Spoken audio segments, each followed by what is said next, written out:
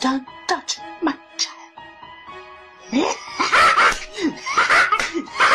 Stallbacks! Who's touching the child?